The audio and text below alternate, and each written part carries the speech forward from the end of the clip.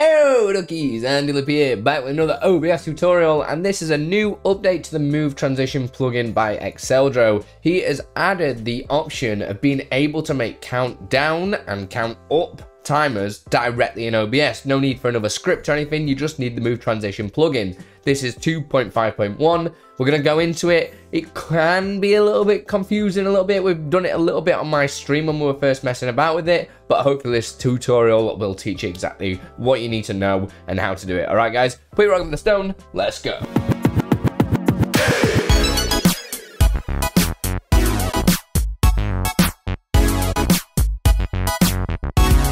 The first things first, we need to get it all downloaded and installed. It's just here on the OBS website. This is Move Transition 2.5.1. We're just going to head up and press download. All these links are going to be in the description down below, so don't worry about any web pages or anything. And you just need to choose your desired platform. Your best bet is using Windows Installer. I like to install mine manually, so I'm going to download this zip file and show you exactly where to put it.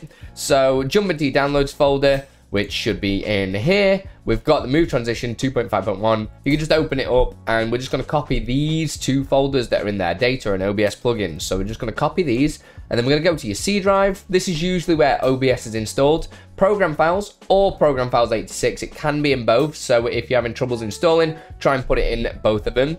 So we go to Program Files and then inside OBS-Studio, all lowercase, and we're just going to paste it directly into there. It's going to ask us, are you sure you want to paste it, all that jazz. We're going to say, yeah, that's cool. We're going to replace it. This is what happens if you are updating the plugin. So that is it, all installed. If you've not got Move Transition installed, it will just copy and paste it. Will just ask for admin privileges, okay? So now we can open up OBS. So I'm using a blank OBS to start with, and we're just going to open a source. We're going to create a new one and call it text. We're just going to do the text GDI source, and we're just I'm just going to leave it as uh, we'll call it countdown, just like that. Countdown, nice one, Andy. Countdown. There we go.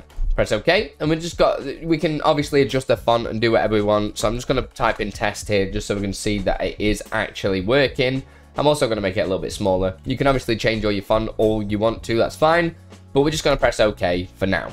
Okay, so we've just got this blank test piece of text and now we're going to manipulate the text. So we're going to click on the text field that we've got and go to filters or you can right click and press filters and we're going to add an effect filter. The filter we're going to add is the move value filter and I'm going to call this uh, countdown. Press OK. And then now you'll see it's created this. When I press it, nothing happens because we've not told it to do anything.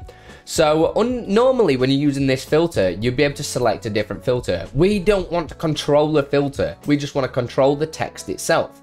So we can obviously check the move value type and we can do multiple settings if we wanted to do uh, and everything like that. I'm going to leave it a single setting and the setting we're going to adjust is the actual text that's in the box. So we're going to select text. And you'll probably see we've got another drop down now for format type. We've got float format, using printf, and we've also got time format using strftime, and we're going to be using this one. So the format in here is what we want the, the kind of text to, to be. So if I type in this is a test and turn this filter on, it's going to turn that text into whatever I've typed into this box. So we want this to basically be the time, okay? So the way that we kind of use a variable inside of OBS that Exeldro set up, if I open up my uh, little reference to C++, you don't need to know anything about coding or anything like that. He also has a demonstration on the updates tab that you can see just here how it's working, how he's got the time remaining of hours, minutes, and seconds. So you use these little percent sign and then followed by a letter. These are all indicated on this website just here on what they all mean. And this program should understand most of them. So we're going to be using percent sign capital X to do time representation, okay? So if I go back to OBS and type in percent sign capital X. Okay, and we're going to set this to uh, value of 10, for instance. If I press the, the filter on now, you'll see it'll count up very quickly to 10. The reason why it did it very quickly is because we've not actually told it how long we want it to take to do that.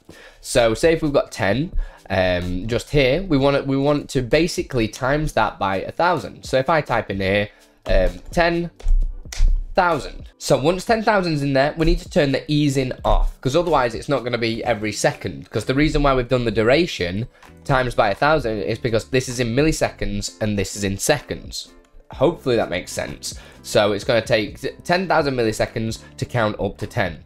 So first of all, we need to reset it back to zero. So I'm going to type in zero, zero into the actual text source. As you can see, that's reset it. And then now when I turn this filter on, it's going to take 10 seconds, two, three, and we're counting up now, which is awesome. So we can do the exact same thing when it gets to 10. If we replace the value we want it to count to, to zero, because we're already set to 10 seconds here, and 10,000 milliseconds in the, the duration, when I press this, it's going to start now counting down from 10 back down to zero, because we've told it to count to zero. Does that make sense? So any amount of seconds, we just need to times it by a thousand for the duration. So now we can take it one step further. Say we want to always say a 10 minute countdown timer before we start streaming. So we need to create another filter. We're going to create a move value filter and we're going to call this start. So this is going to be the start filter. And just like we did before, we're not going to be using another filter or anything. We can leave this on single setting. The only thing we want to change is the text. And we change the format to time. So the format that I want is percent sign capital X because that's the, the current format that I want to use. Obviously, we can use different formats as well that you can see from the website. So I'm going to do a 10 minute countdown timer. So this is going to be 600 in here because this is 600 seconds. So if I press start, that's going to set us back to a 10 minute countdown. Okay, so the duration, I'm going to put this to 10 and it doesn't matter about easing because we're going to make it so basically this automatically, whatever we put this to, it's going to automatically switch direct to that number. So I've changed it to zero there. If I change it back to 600, press start, it automatically goes to a 10 minute countdown timer. So this is the start. So now we know it's going to be a 10 minute countdown timer. So on the countdown clock, we need to tell this to count down to zero but we need it to take 10 minutes. So we've got 10 already, which is 600. We need to times that by a 1,000. So we've got 6,000, that's obviously 6 seconds. We've got 60,000, which is a minute. We've got 600,000, which is 10 minutes just there. So we just times whatever amount we're putting in by um, by a thousand and that's because it's in milliseconds so now when we press start, it sets it to 10, but we want it to then wait a second and then start counting down. So the way that we do that is select start, go down to the uh, custom, uh, the end delay, sorry. I'm going to put in a thousand milliseconds there. That is just going to give it a second to run this before it starts counting down.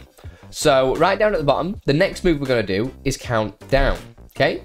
So this is basically saying anytime start gets selected, so if we reset this text box back to zero, so it's complete zeros, when I press start, it's going to set it to 10 minutes and then start counting down because we've told it the next step to do after this filter's run is do countdown. So when I press this, it goes to 10 and you'll see we start now counting down 10 minutes. Easy as that. And you can do this for any amount, okay? So I'm going to actually stop that now and I'm going to actually make it a smaller amount. I'm going to say 10 seconds. So the start, we're going to say, change this to 10 seconds just here. And then on the countdown clock, we need to change the duration. So 10 times 1,000 is 10,000. 10,000 milliseconds just there. And when I press start, it's going to go to 10. And it's going to count us down 10 seconds.